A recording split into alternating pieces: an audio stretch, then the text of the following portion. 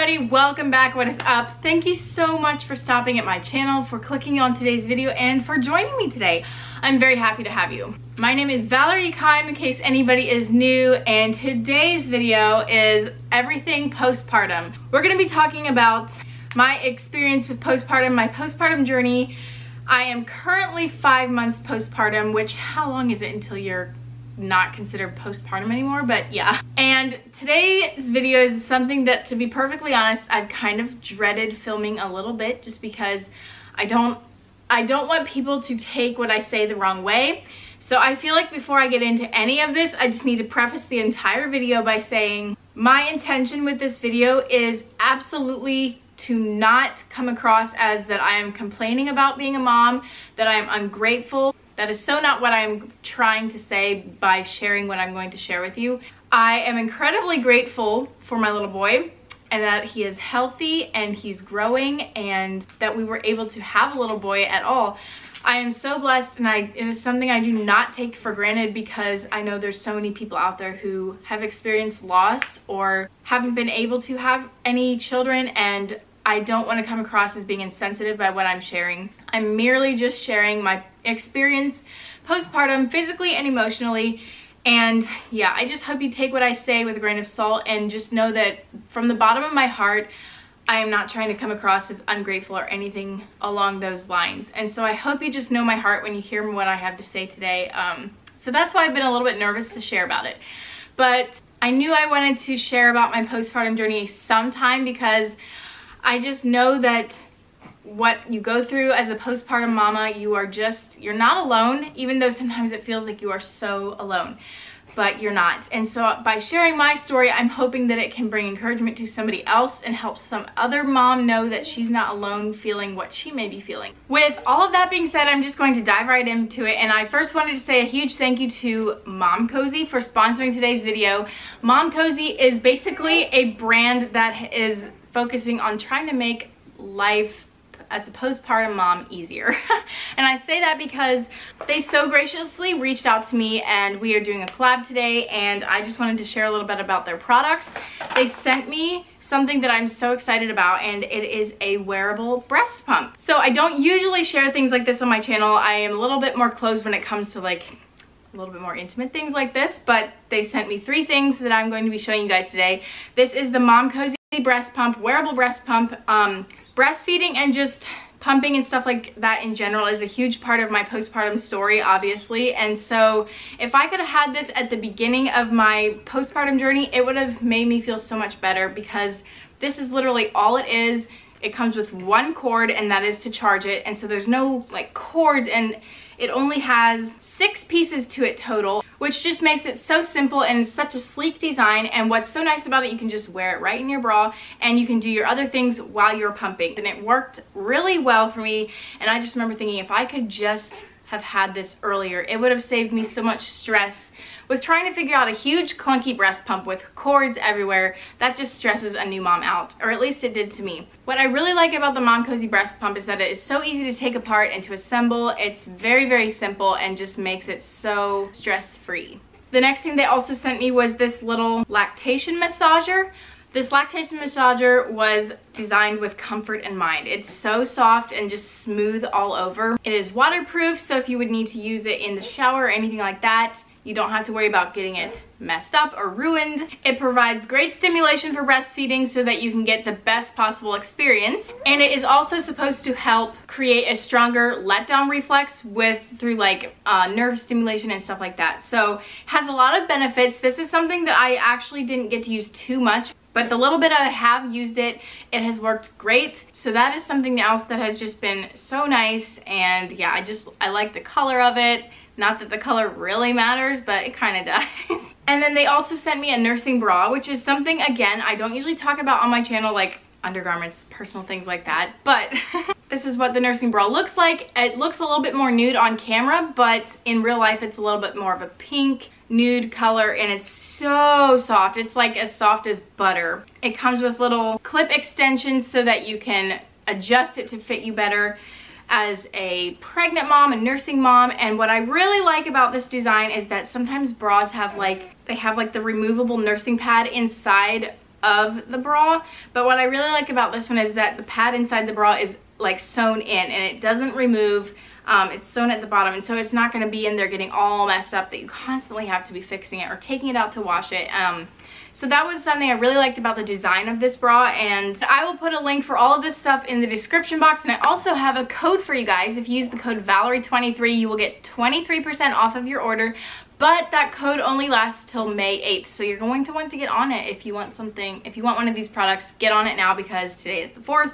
So keep that in mind when you are using the code. It is only valid till May 8th. So you can use the code Valerie23 for the 23% off, but you can also use Valerie10 for 10% off and that code never expires. So you can always come back to my channel and get a 10% off code if you would like, but the 23% only lasts until the 8th. So again, thank you to Momcozy for sponsoring today's video and for sending me these products. I was very excited and very happy and thankful to receive them. anyway, so with all of that being said, now I'm going to jump right into my postpartum journey and my story with all of that and don't even know where to start. I guess I'm to start at the very beginning. So I'm to cover two aspects today. I'm to cover the postpartum physical journey and my postpartum emotional journey. And Mateo is laying over there on the floor if you hear him making noise. so I'm just to start at the beginning of my postpartum journey, which is when I got home from the hospital. And this is the physical part of it. I had a first degree tear, which really wasn't that bad, but because of where I tore, it was more painful than what it would have had to be. At least that's what my midwife told me. I don't really know because I haven't experienced any other types of tears or anything. So we get home and everything's kind of going normal and like all, like everything's going kind of as it should. And you know how they always tell you to take a stool softener because, you know, that first time going to the bathroom can be a little bit yeah, let's just leave that right there. So I was like, okay, I'll just, I'll see once. If I need it, I'll take it. So I got home and I ended up taking one stool softener. Nothing happened. So I was just kind of going about my days and nothing was happening. And so we were like, oh, I'll just take one more stool softener. And immediately after I took that, I had horrible, like, I don't know, I just must have had a horrible, horrible reaction to it because I got IBS and it was horrible. Like, my stomach hurt so bad. I couldn't even stand up straight for a lot of the time. That lasted several days, I would say. So that was not fun whatsoever. Chip told me, he's like, I could literally look at you and just know you were in horrible pain. Like, I could not hide it. It was awful. But fortunately, that was only from the pills. The nurse was like, yeah, maybe just stop taking those.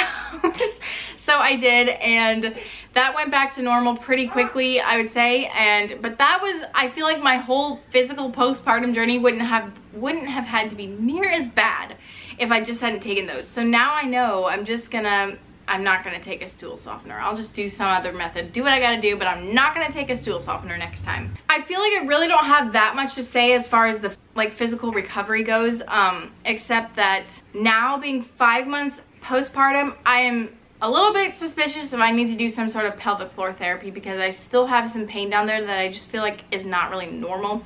So I'm gonna need to be talking to my midwife about that and I'm just, we're just trying to decide what the right thing for us to do is if we should get that checked out, do some pelvic floor therapy, which I feel like it could be very helpful. So that might be in my future before too long and I'm just not looking forward to it. So I'm kind of pushing it off, but um, so honestly, I would say like as far as recovery goes, other than that, like it has just gone super. I've felt good um, physically wise, except nobody told me that it is painful when your milk comes in. And so I was just kind of clueless as far as that whole aspect goes.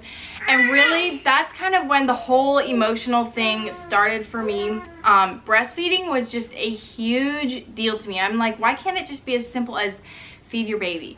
But your body literally just had a baby and your hormones are just all over the place. And so everything feels like 10 times as big of a deal as what it really is. Like it really helps to talk about stuff, talk it with talk about it with your husband, your mom, or whoever is close to you, and it helps to talk about it, or it did for me anyway. I would say it was probably when Mateo was about two months old is when I really just felt like I was, I had baby blues. I just felt down a lot of the time. Um, this was actually when we were in Florida.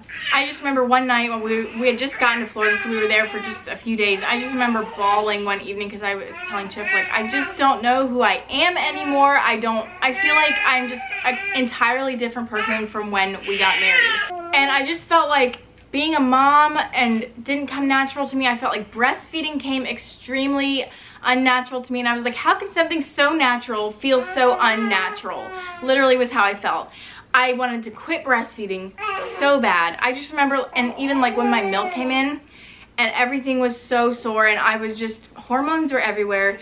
I had to figure out how to use this huge breast pump, cords everywhere, and buttons and pieces to assemble, which was why I really wish I would have had this thing at the beginning because it's only like five or six pieces, no cords, um, and it's so simple. So that is something that I really wish I would have had, but I just had like a meltdown trying to figure that stuff out. I wanted to, like I said, I wanted to quit breastfeeding so terribly bad. But I was like, if I can just get through like the first six weeks even. And so around two months then, like I said, when we were in Florida, I still was just like, I didn't, I just didn't want to breastfeed. I hated it. And to be, and it's not really that Mateo was doing bad with it. Like he did fine. He latched perfectly from the start. Like that's not what the problem was. It was for my mental state. I just felt like my mental state was just suffering. And I just remember thinking like, I want to switch over, but I felt like people were going to judge me so much for switching when technically breastfeeding was going good for the baby. And I felt like switching for my mental state was a poor excuse to switch over to formula. I just felt like I'm not, I had so much mom guilt for even thinking that because I was like, I'm sure formula isn't as good for him. Every time I would talk to somebody about switching, the one of the first things they would say is, oh, but breastfeeding is so good for them. And I know that. Like, I didn't need to be told that. I just needed to have people, have somebody understand where I was coming from. But it felt like the reasons that people switched to formula was because their baby didn't do well on the breast milk. Their breast milk maybe had no quality that it should have. It just felt like nobody switched for the mom's sake. So I just felt kind of stupid.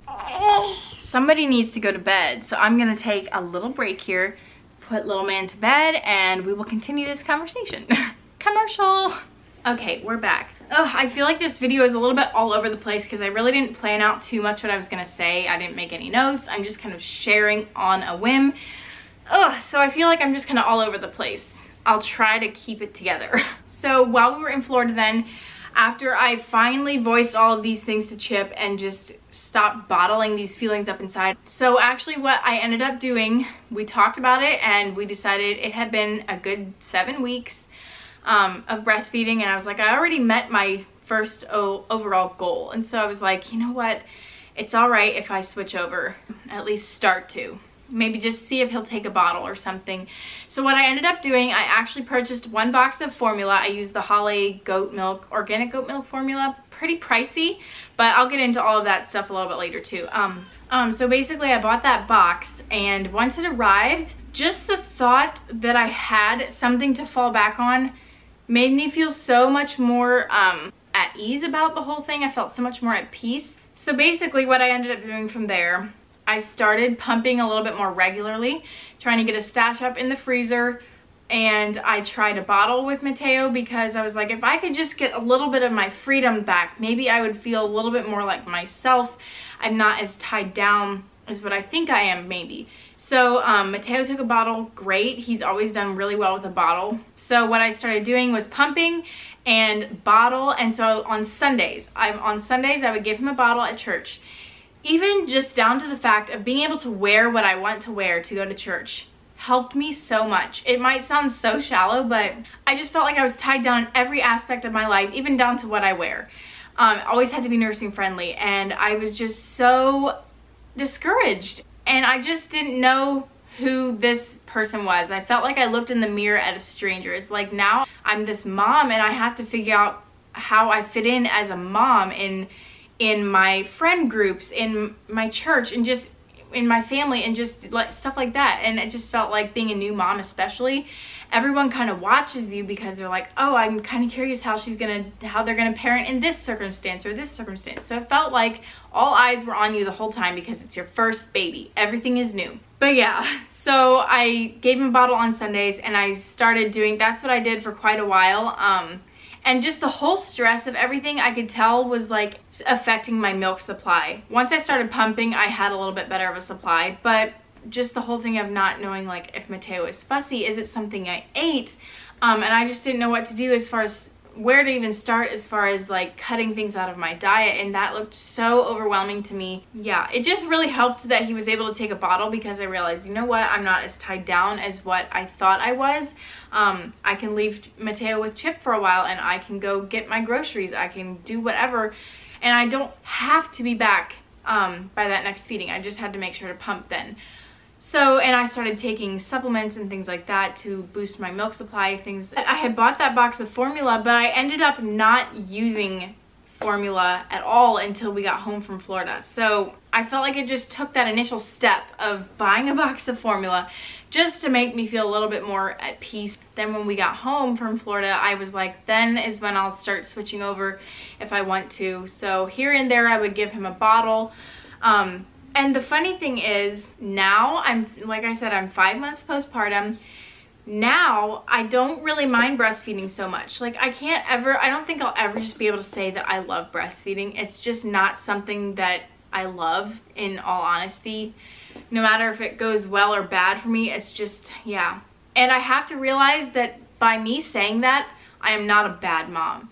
By me not liking to breastfeed, that does not mean that I don't have a special bond with my son. If you don't enjoy breastfeeding, that's okay.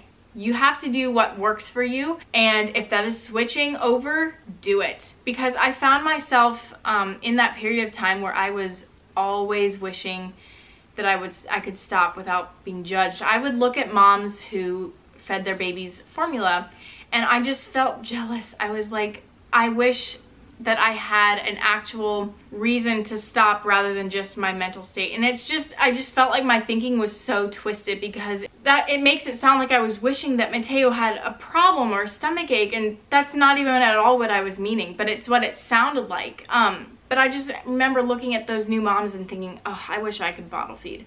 But I just felt like I didn't have a reason to switch.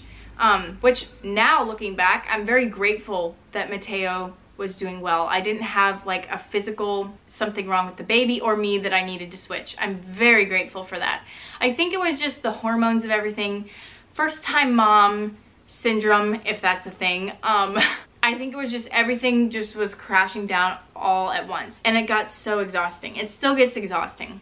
That's kind of the whole journey that I went on with that. And I remember talking about, I think in a vlog in Florida saying, maybe one day I'll talk about this. And today's the day, I guess. But so now, now that I don't really mind breastfeeding, now is when my milk supply is actually going down. Around four months, I could tell I just didn't have as much. Um, I was kind of concerned that Mateo was not getting what he needed just because he wasn't sleeping great and like, yeah, I don't know. I was just trying to narrow some things down to why he wouldn't be sleeping good and I was like, well, maybe he's not getting enough. So I actually started supplementing. Um, I would breastfeed him and then offer him two to three extra ounces of formula and he always took it. Um, and I'm not sure if it's just because he liked to eat or if it was because he's actually still hungry. he seemed to do really well on that and so as I started supplementing, I also don't feed him at night anymore. Stuff like that makes my makes your supply go down because there's not as much demand. Um, so now my milk supply is starting to go down. And I have to say like I feel ready to stop breastfeeding, but I still have that mom guilt that just something, that feeling that just kind of nags at me and says, you're not a good mom because a good mom would do what's best for her baby and what's apparently best for the baby is breastfeeding. That's the message that's always sent. Well, I have news. Breast is not best. Fed is best. And I just really had to come to that realization. And it's still something that I have to remind myself of. Like, I am doing what I feel is best for my baby and that's that's what makes a good mom is if they do things for the best and for the good of their baby. But it definitely took me a long time to realize that and I still like I still feel like I haven't fully grasped it, I guess, in a way. Actually, just being perfectly honest, last night I had like a meltdown because I was just feeling a little bit how I felt back when I really was dealing with postpartum stuff at two months postpartum. I felt that same just heaviness over my mind I couldn't even sleep because my mind was just going and going and going and I just was like I just don't feel like myself. I feel like I'm in a rut and I don't think I'll ever be the same as what I once as what I used to be and of course I probably won't be. I am a mom now and I love being a mom. It's just been way harder for me than what I thought it would be to accept how life is different and that it's never going to be like it was. My body is never going to be like it was. My independence is never going to be what it was And sometimes you just have to sacrifice the things that you really would want to do for your child that maybe needs a nap and you just need to go home. That's been something that's been pretty hard for me sometimes. It's just not having my freedoms and I just feel like, I told Chip last night, I just feel like the person you married, I don't even think she exists anymore. Like, I just don't think that I'll ever be the same. And I just felt so down and so discouraged last night about all of that and if there's moms out there that understand what I'm saying, please let me know so I know that I'm not just like speaking in vain. and I don't want to come across as just being this Debbie Downer. Motherhood is so hard. Motherhood is, it's so time consuming. You never get to do things for yourself. That's not what I'm saying. Sometimes that's how it may feel, but honestly, motherhood is such a joy. I'm starting to really enjoy just like the routine of the day. Mateo is on a schedule and so he's got an evening routine. I, he's got his routine throughout the day and I've just really started to enjoy routine. And I love being his mom. I absolutely love it. I'm so thankful for him. I'm so excited to see um, to see him grow and all the new things he's going to learn in life being a mom has definitely stretched me in more ways than what I can even count. And just keep in mind the preface that I said at the beginning of the video. Um, I don't want to come across as being ungrateful. But I do want to say that all of the hard things that I've gone through, like just mentally even, trying to process things, it is hard. I will say that. It's hard, but it is also good. Um, and it's exciting. I get so excited for moms that are pregnant because I'm just like, even just experiencing birth is such a miracle. And I'm excited for anybody that gets to do that. Like, I understand it's scary sometimes. It's scary for your first one. It was scary for me. And it'll probably be scary for every child I have. But it's such a miracle and I just get so giddy and excited every time I think about, oh my word, they get to have a baby, they get to be parents. I'm just so excited for them because there's so much joy that it brings. It's extremely rewarding and obviously you just think your baby is the cutest thing in the whole world and it's just so fun to see your spouse become a parent and it's just extremely special but i hope that all this made sense. Like I said, I kind of brought you up to date with where I'm at right now. Actually, I didn't say. Right now what I am doing, I breastfeed in the mornings and the evenings, and then Mateo gets a bottle all through the day.